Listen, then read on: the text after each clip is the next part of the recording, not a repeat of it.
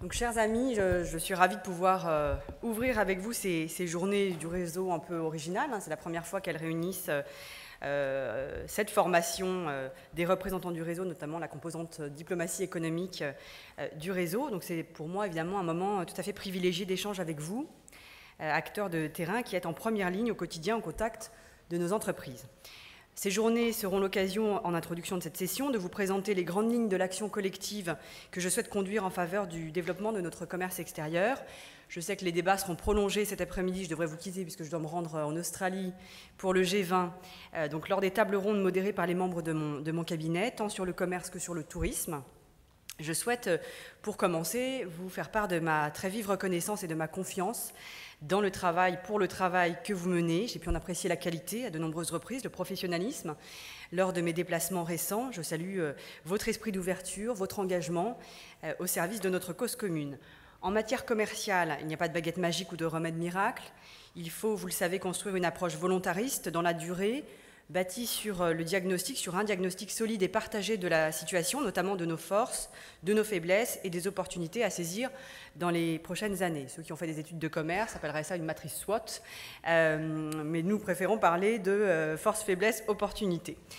Nos vieux réflexes nous ont peut-être trop longtemps ou trop souvent conduits par facilité à chercher des réponses exogènes, extérieures à nos mauvaises performances, comme la force de l'euro ou, le manque de réciprocité des règles du commerce international, et je crois que cela nous a trop souvent, trop longtemps euh, permis d'éviter de regarder en face avec un certain réalisme euh, la situation, avec la même monnaie et le même environnement commercial, nos partenaires européens ont moins perdu de parts de marché que la France euh, sur la décennie passée. Et plusieurs de nos partenaires européens bénéficient même de, solides, de très solides excédents. Le déficit extérieur de la France est le résultat de plus de dix ans de dégradation de la compétitivité de nos entreprises ce qui se traduit aujourd'hui par euh, des marges historiquement faibles et par une faiblesse également de l'investissement productif. Nos entreprises hein, euh, souffrent aussi d'un retard d'innovation et d'appropriation des nouvelles technologies, et en retour, cela euh, évidemment pèse sur la nécessaire montée en gamme de nos produits. L'action résolue du gouvernement depuis deux ans pour restaurer la compétitivité de nos entreprises, la compétitivité prix, mais également la compétitivité hors prix, est une réponse nécessaire à ce constat. des mesures euh, inédites et vigoureuses ont été mises en place euh, dans le cadre du pacte de responsabilité, conduiront à une baisse sans précédent des prélèvements obligatoires pour les entreprises, également une baisse du coût du travail et une simplification euh, de la vie des entreprises. Celles-ci disposeront de nouveaux atouts dans la compétition, cela libérera leur capacité d'investissement et, il faut l'espérer, cela renforcera leur compétitivité. Les effets de cette politique, évidemment, prennent euh, du temps pour se traduire dans les chiffres de nos exportations, et c'est pourquoi il est également indispensable d'agir en parallèle et de façon complémentaire sur les leviers plus immédiats dont nous disposons, nous ici, dans, ce, dans ce ministère, pour encourager et pour accompagner l'internationalisation de nos entreprises. Alors nous ne partons pas de rien, de nombreuses initiatives positives ont déjà été lancées depuis deux ans, il faut consolider et amplifier ce qui fonctionne et sans doute compléter le dispositif par de nouvelles actions. Mon approche euh, se veut à la fois pragmatique et volontariste. Je me concentre sur des solutions pratiques qui répondent aux attentes euh, exprimées par les entreprises, entreprises qui doivent être encore davantage placées au centre euh, du système, on pourrait dire une approche centrée sur l'utilisateur ou sur le client. Je souhaiterais développer ici peut-être quatre éléments de, votre feuille de route, de notre feuille de route commune pour l'année qui vient. Tout d'abord, l'accélération et l'approfondissement de la refondation du dispositif public afin de le rendre plus performant. Deuxième point, l'amplification et, euh, et, le fait de pouvoir compléter la stratégie sectorielle autour des familles à l'export. Quatrième point, conduire les améliorations des instruments utiles aux entreprises et à la création d'emplois. Et puis enfin, quatrième axe, mieux positionner la France et ces entreprises dans les chaînes internationales de, valeur. Alors sur le premier point, euh, accélérer et approfondir la refondation du dispositif public. En premier lieu, il est indispensable de muscler le dispositif d'accompagnement. Les entreprises françaises sont encore trop frileuses. Lorsqu'une entreprise française sur 20 exporte, ce sont euh, une entreprise sur 10 en Allemagne et une entreprise sur 15 en Italie qui se projettent à l'international. Donc nos entreprises n'ont pas suffisamment le réflexe de penser aux marchés internationaux comme un relais de croissance indispensable, et ce frein, en grande partie psychologique d'ailleurs, doit être, doit être surmonté. C'est pourquoi la détection, la préparation et l'accompagnement à l'international euh, de nos pépites, euh, de nos entreprises de croissance est une priorité. Je l'ai initié, euh, vous le savez, sur les startups avec la French Tech. Eh bien, je souhaite le reproduire sur les filières prioritaires que nous avons définies. Et c'est là tout le travail initié entre UbiFrance et, et la Banque publique d'investissement, BPI France, autour des 1000 ETI e et PME de croissance qui doit être amplifié. C'est une évolution du modèle économique de l'agence que je souhaite soutenir et encourager. En deuxième lieu, en France comme à l'international, le dispositif d'appui doit être rendu plus lisible et encore plus performant. Chaque membre de l'équipe de France de l'export doit connaître son rôle et sa place pour des prestations claires et accessibles, homogènes euh, selon les pays et de, qualité. Alors d'abord, il nous faut euh, achever la, fusion euh, UBI-France-AFI. La tâche est confiée à Muriel Pénicaud. C'est une tâche exigeante euh, on va dire. Euh, et donc, ce sera l'occasion de repenser le modèle économique euh, des deux opérateurs pour accompagner la montée en gamme, compléter la palette des services et muscler la communication économique de la France. C'est un aspect auquel j'attache beaucoup d'importance, auquel nous attachons beaucoup d'importance, en partenariat étroit avec le réseau diplomatique et les autres opérateurs du réseau. Il faut euh, également compléter cette fusion par un, rapprochement avec la SOPEXA, là aussi euh, Muriel Pénicaud est à la manœuvre, euh, pour disposer d'un puissant opérateur international pour l'agroalimentaire. C'est un secteur absolument clé. Les opérateurs doivent nous faire des propositions à l'automne à ce sujet, mais il est clair que nous ne pouvons pas nous satisfaire de la dégradation de notre position commerciale dans l'agroalimentaire depuis dix ans. L'Allemagne et les Pays-Bas exportent davantage dans le secteur agroalimentaire que la France, y compris sur des secteurs comme le fromage, où on pourrait attendre de la France des performances supérieures à ces deux pays amis, mais néanmoins concurrents. Il faut donc entamer le, rapprochement des deux grands réseaux publics euh, euh, généralistes et à vocation universelle, que sont euh, par ailleurs UbiFrance et le réseau des chambres, en les spécialisant chacun sur leurs points forts respectifs.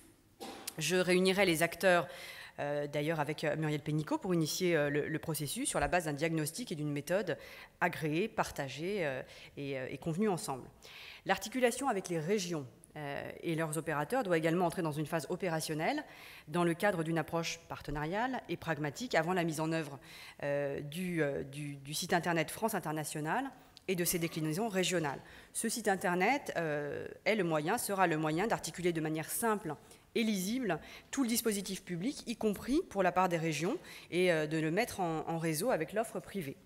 Le site Internet aura vocation à présenter toute la palette de services disponibles et orientera les entreprises vers le meilleur interlocuteur. C'est une demande qui est, forte de la part des, euh, utilisateurs, des entreprises. Euh, il obligera les acteurs à travailler ensemble à la cohérence de, leur offre.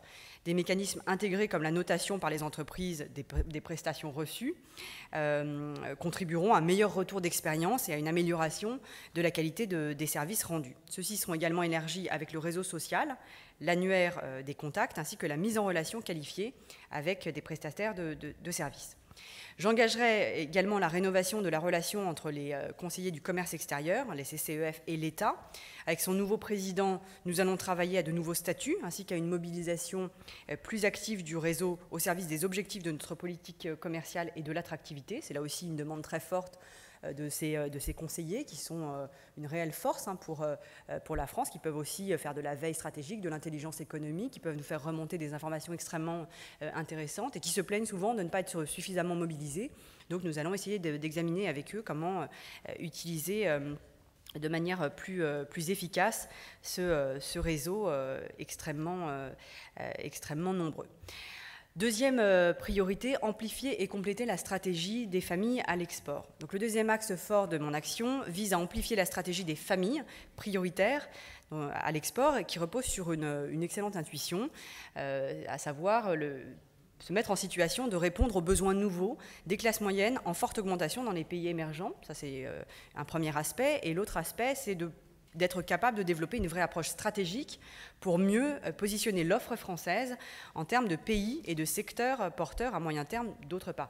L'idée, c'est euh, d'essayer de, remédier à une des faiblesses qui est souvent identifiée dans le commerce extérieur français, à savoir une mauvaise spécialisation pays-produit.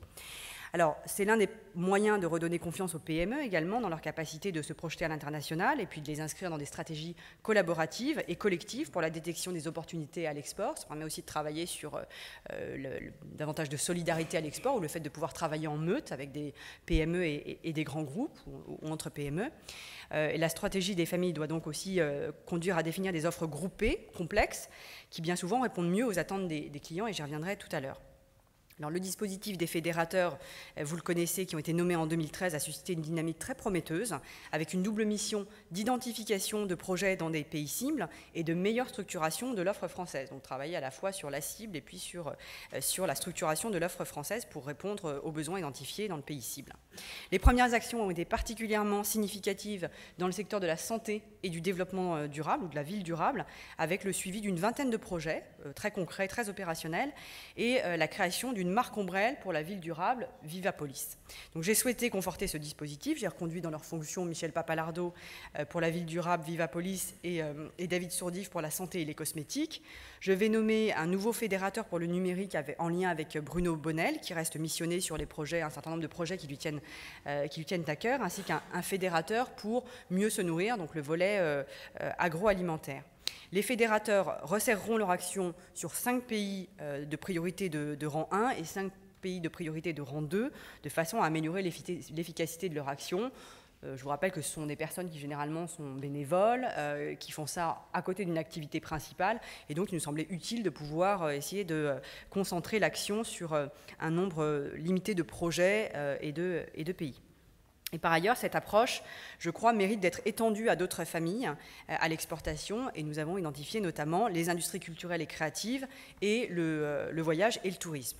Les industries culturelles et créatives sont un secteur qui remplit, euh, selon moi, toutes les conditions pour être érigé en famille à l'export. Tout d'abord, une demande internationale à capter, des enjeux euh, euh, significatifs à l'export en termes, en termes financiers, hein, de l'ordre de 22 milliards d'euros, des synergies évidentes mais peu exploitées entre le luxe et le cinéma, entre la musique et le cinéma, entre le design et, et, le luxe par exemple.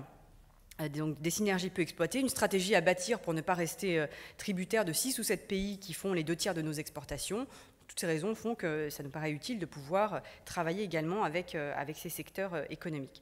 Les milieux professionnels ont d'ores et déjà réagi extrêmement positivement et plusieurs chantiers bien identifiés vont être lancés avec les fédérateurs dès euh, leur nomination. Tout comme ce que nous avons réussi pour la French Tech, je veux donner aussi une nouvelle identité aux familles afin de renforcer la dynamique et son appropriation la plus large possible par les acteurs, cela se traduira le moment euh, euh, venu par de nouveaux noms, un peu plus vendeurs, hein, des noms euh, qui serviront de base pour une, communication internationale, une identité visuelle, des documents de communication adéquats. Et pour chacune des, familles, une feuille de route est en cours d'élaboration avec quelques projets très concrets sur lesquels je vais demander aux fédérateurs de mobiliser l'industrie et sur lesquels, évidemment, ceux d'entre vous qui sont concernés parce que vous, serez dans des pays cibles, évidemment, vous serez associés et mobilisés.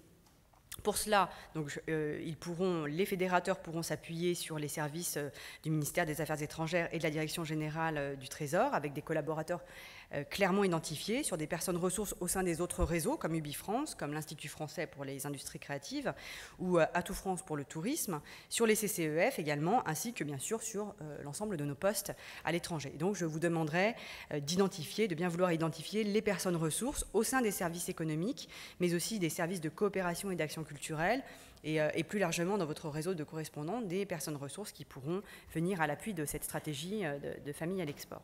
Troisième euh, axe, conduire les améliorations des instruments utiles aux entreprises et à la création d'emplois. Donc les entreprises nous font très régulièrement part de leurs attentes concrètes en matière de simplification.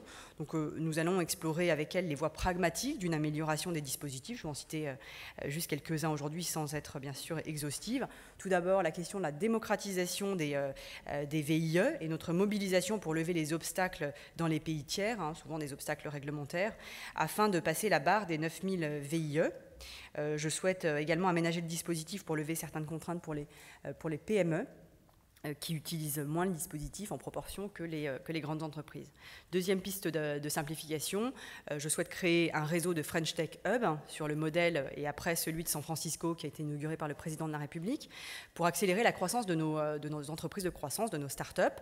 Le premier sur lequel je souhaite me concentrer après celui de San Francisco, c'est celui de Boston, autour des biotech. Et je demanderai très prochainement au consul et au fédérateur David Sourdive, qui a déjà commencé à travailler sur le sujet, de me proposer au début de l'automne un schéma euh, de mise en œuvre. Mais je sais que d'autres projets similaires euh, au Japon, en Chine, pourraient être lancés assez prochainement sur la base des propositions nombreuses euh, qui, fleurissent actuellement. Et je crois que ces projets nous seraient très utiles pour pouvoir proposer des incubateurs et favoriser la fertilisation croisée entre nos entreprises les plus innovantes et les écosystèmes des pays partenaires. Je crois que ça sera une des voies de la montée en gamme des services de, la nouvelle agence de la nouvelle agence de l'international.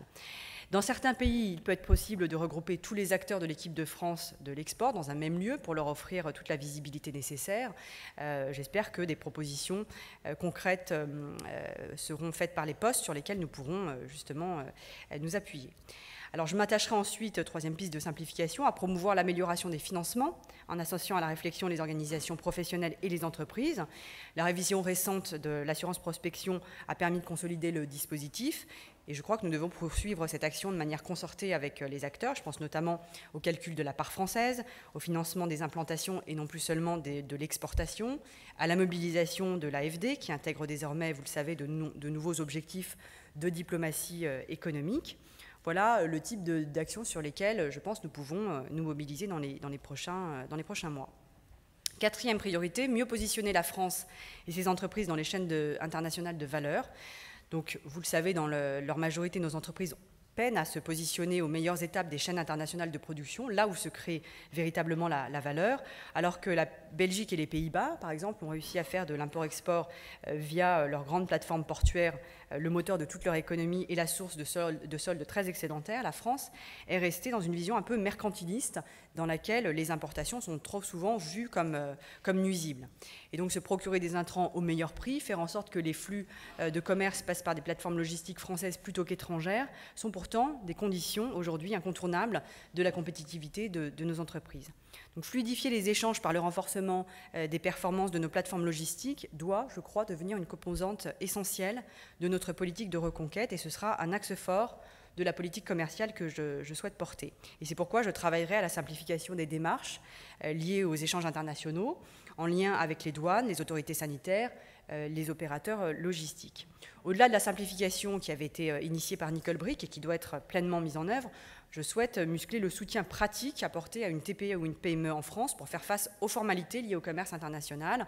Et par exemple, nous avons eu l'idée, nous avons commencé à travailler sur une idée de, plateforme export vers la Chine à partir du, Havre, idée qui nous est venue euh, à, partir d'une expérience euh, récente de regroupement de PME produisant des biscuits et de la chocolaterie exportés en Chine et, et, mis en valeur par le réseau des magasins ou des points de vente Carrefour et Auchan. Et donc nous avons réussi à créer une chaîne partant de France jusqu'au point de distribution final dans les hypermarchés, les supermarchés, euh, Carrefour et Auchan en Chine, euh, mais sans laquelle, sans, cette organisation, jamais les PME n'auraient réussi à, euh, à, présenter leurs produits en Chine. Donc l'idée d'avoir à la fois un regroupement, une très grande simplification des procédures de dédouanement, des procédures logistiques, d'expédition, etc., qui peuvent être appuyées par des entreprises comme Carrefour et comme Auchan qui ont l'habitude, dans le secteur de l'agroalimentaire, de, de, faire ce genre d'opération, c'est quelque chose que nous souhaitons systématiser et, rendre plus, facile à, mobiliser pour les, PME. Alors ensuite, la valeur d'un bien est aujourd'hui essentiellement déterminée par son contenu en service euh, associés, services avant et après-vente, marque, réputation, communication individualisée via les nouveaux médias, circuits de distribution spécialisés et performants, innovation, etc. Et donc c'est le contenu immatériel attaché au bien matériel qui, de plus en plus, fait la valeur de, ces derniers. Nos entreprises du luxe ont depuis euh, bien longtemps développé un tel modèle euh, dans lequel les produits véhiculent beaucoup plus que les simples caractéristiques physiques ou, techniques, et c'est aujourd'hui ce qui fonde la prospérité et le dynamisme de l'économie américaine, bien plus par exemple que, que le prix du gaz. Aujourd'hui, la frontière entre les biens et les services, ou entre l'industrie et les services, s'estompe. Nous devons faire cette révolution culturelle dans les têtes, et cela doit commencer par se refléter dans les statistiques. Alors, nous devons mettre fin, je crois, hein, à une communication réductrice sur le sujet. D'abord, ça contribuera à réconcilier les Français avec l'économie internationale, et puis cela contribuera également à faire prendre conscience de l'importance des services pour notre compétitivité au niveau micro comme macroéconomique. Euh, enfin, donc c'est un sujet sur lequel nous travaillons là aussi avec euh, la Banque de France pour essayer au moins d'avoir une présentation euh, en même temps et, et peut-être intégrée de la balance des biens et de la balance des services. Et puis enfin, je vous le disais, je veux euh, encourager les regroupements d'entreprises. Euh, j'en disais un mot tout à l'heure. Force est de constater qu'elles vont trop souvent de façon isolée sur les marchés internationaux. Euh, elles font pourtant face à une demande très complexe qui exige une approche groupée et des stratégies d'alliance. Euh, avec Michel Papalardo, l'association Vivapolis euh, sur la ville durable doit ainsi, je crois, se structurer de manière pérenne, euh, en entrant, pourquoi pas, dans la galaxie du Bifrance et en offrant de la mutualisation de forces de vente, de la détection d'opportunités et l'assemblage d'une offre globale. Nous travaillons également avec David Sourdive à un tel ensemblier dans le domaine de la santé. Là aussi, lorsqu'on discute avec des représentants de pays ou de gouvernements étrangers, on se rend compte qu'il y a une très forte demande pour l'intelligence ou les services ou les produits français en matière de santé en matière hospitalière, en matière d'assurance maladie euh, ou d'assurance sociale. Et donc, il y a euh, là vraisemblablement euh, une, demande qui s'adresse à la France et qui n'est pas actuellement satisfaite par, défaut d'organisation des acteurs pour y faire face. Le programme d'investissement d'avenir peut être mobilisé sur de tels projets. Il n'est pas normal que le, PIA ne finance que très peu de projets à, à l'export, donc nous devons lui donner beaucoup plus cette tonalité internationale. Euh, et ces regroupements d'entreprises pourront prendre, la forme, euh, pourront prendre des formes très variables, le plus souvent d'ailleurs sans intervention publique. Il faut cependant un cadre juridique, un statut adapté, et, euh, il faut également que les acteurs comme la COFAS ou, BPI France puissent les encourager. Alors pour conclure, euh, je voudrais insister sur, euh, sur la méthode. L'ensemble des acteurs de l'export doit jouer collectif. Les services de l'État, chancellerie, services économiques, UbiFrance, AFI sont les maillons d'une chaîne de valeur euh, que je souhaite très intégrée, la plus intégrée possible, à laquelle chacun, chacun d'entre vous, apporte sa valeur ajoutée spécifique et complémentaire dans l'appui aux, aux entreprises. La puissance publique doit être la garante de la synergie de l'ensemble des forces qui se mobilisent, les régions, le réseau des CCEF, les CCI, les acteurs du conseil à l'export. Et euh, il vous revient de, les faire travailler, notamment dans les conseils économiques, pour les faire avancer dans la même, euh, direction. Notre développement international passe immanquablement par une représentation française accrue euh, dans les grands rendez-vous internationaux et dans les pays partenaires pour ma part, je me déplacerai, euh, et je me déplace beaucoup, autant que, possible, là où ma présence apportera une valeur ajoutée effective pour nouer un partenariat équilibré, pour renforcer nos investissements croisés ou, euh, euh, des échanges technologiques. J'appuierai les initiatives pertinentes que vous-même, d'ailleurs, ainsi que nos communautés d'affaires expatriées auraient engagées. Vous aurez noté que je n'ai pas euh, évoqué la politique commerciale européenne et multilatérale. Euh, je ne me suis pas non plus beaucoup exprimée sur mon rôle en matière d'attractivité, mais volontairement, puisque ce sont deux composantes fondamentales de ma stratégie du commerce extérieur euh, à part entière, sur lesquelles j'aurai l'occasion de développer prochainement ma vision, ma, stratégie et, mes projets, dont vraisemblablement à la, rentrée. Et pour laisser du temps aux échanges avec vous, j'ai choisi de ne, pas le faire aujourd'hui. Voilà, donc pour finir, je, salue la qualité de votre travail. J'insiste sur votre rôle euh, éminent de relais, de tête de pont, d'animation. Vous suivez et vous connaissez la situation euh, macroéconomique et bien souvent aussi microéconomique des, pays, la réalité des marchés et les besoins de, nos entreprises. Vous êtes les relais indispensables des impulsions que nous souhaitons donner au service de nos entreprises. Donc je sais pouvoir compter sur vous. Vous pouvez également, bien évidemment, euh, compter sur moi. Merci à tous pour votre présence aujourd'hui.